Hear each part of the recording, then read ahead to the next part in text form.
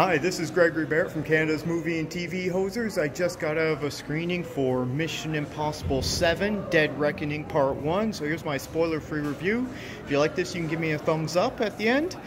In the day, I did have a fun time with this. Now, this movie is not perfect at all. It's actually quite dumb at a lot of points there, but I did have a lot of fun. There's some great action scenes. There's a little bit of humor. It could have used a lot more of that, but it was still a fun time, especially in Rome, and then there's some crappy stuff in Venice.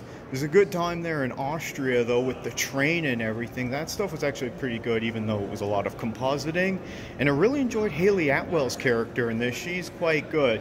Tom Cruise's Ethan Hunt, eh, I found that kind of boring, but let me know what you think. Give me a thumbs up if you enjoy this, and you can always subscribe for more content. Take care.